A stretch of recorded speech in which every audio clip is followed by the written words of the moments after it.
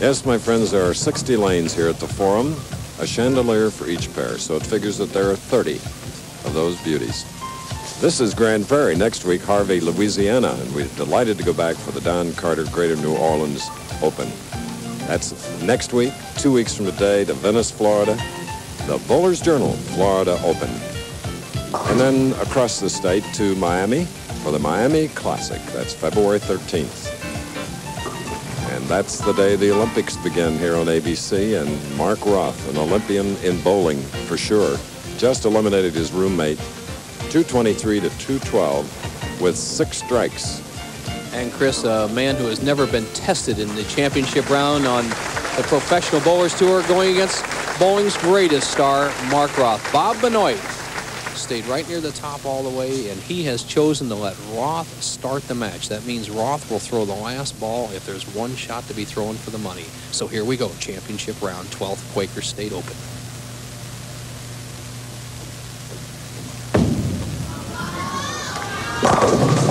Forty-one thousand dollars at stake in this one head-to-head match in Grand Prairie. Roth, first frame. Now, learn more about Bob Benoit. He's 33 years old, now living in Topeka, Kansas. Former Dallas resident, said he'd like to come back to the Big D. And uh, he's back this week in bowling for sure. Tournament leader, first shot.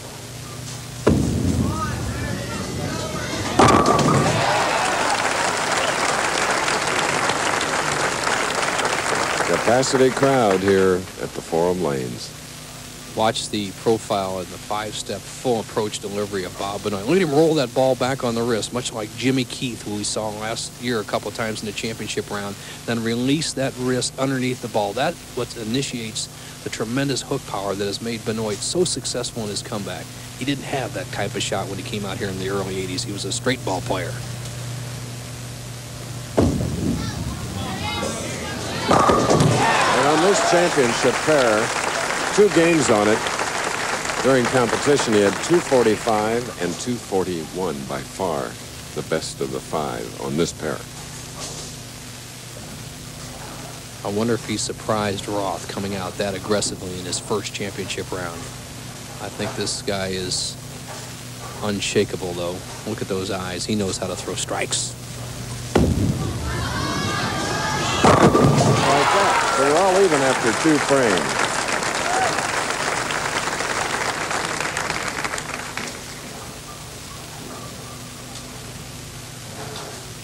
Roth, power player, going against another young, blossoming, not really young, a new timer to the newcomer to the tour, Bob Benoit, another power player. Roth does it with just tremendous snap and much, not as much hook. Bob Benoit has a real good smooth roll. As you see Roth's reaction to that strike, one of many in his career. As I said, Benoit throws the big hook ball type of power. So here the match is all even. Third frame.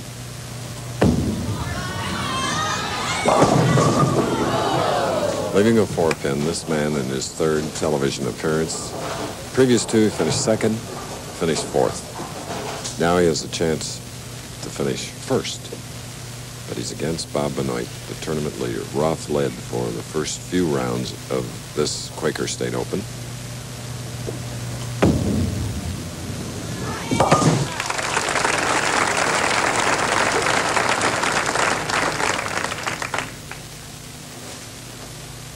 Get a look at Benoit, average 222, 42 games.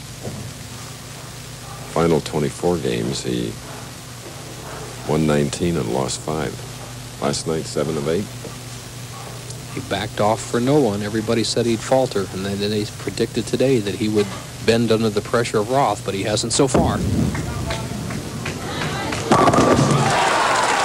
Well, this 33-year-old has a three-bagger. Good numbers for Bob Benoit.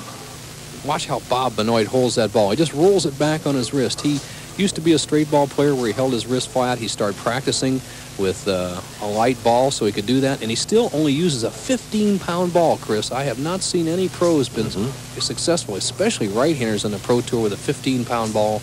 Some of the left-handers have tried it. Mike Aulby tried it, and Dave Davis, uh, two of the great lefties, have tried it, but they could play a little bit more outside angle. Benoit doing it on the right side is just amazing. He has so much, a big hook. And a professional that's 5 feet 9 inches tall and weighs 130 pounds has four in a row in the title game.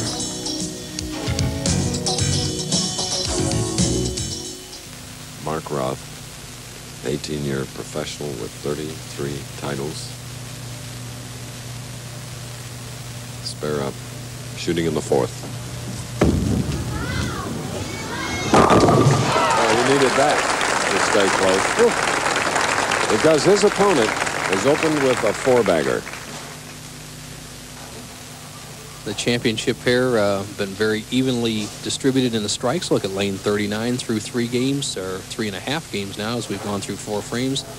Lane 40, 25 strikes, spares equal, and open frames equal. So a well-balanced pair, although the left-hand lane hooks a little bit more.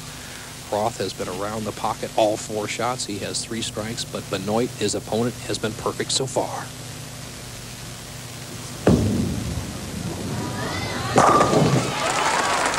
Who eliminated Joe Berardi, last week's winner, now has answered back with a double and now trails by only 11, but that can change because Benoit has four in a row, shooting in the fifth.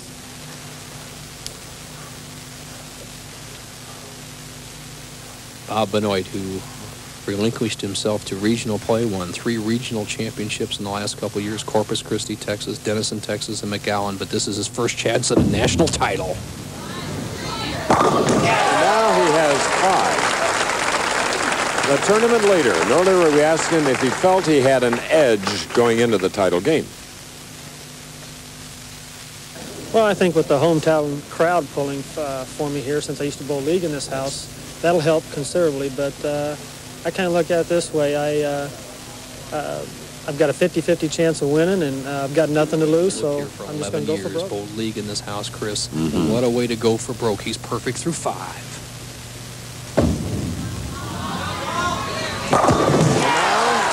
If he can get six more, True Value Hardware will be happy to present him with a $100,000 check as you're looking at Susan Benoit, little lady from Topeka, and that is not thinking about that, I'm sure, but if it would, what pressure that is. 100,000. No doubt. He still has to get by this man. This match is long from over. Double up.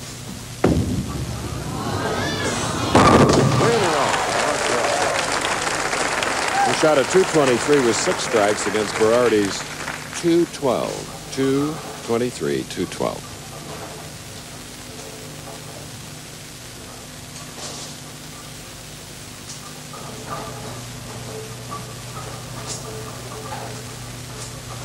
You know, the keys to shooting a big game sometimes, Chris, are somebody making you or pulling you along like a pacer in a mile race. Roth right now is the pacer for Benoit as he's perfect, but don't count Roth out. Roth out. Five out of six strikes.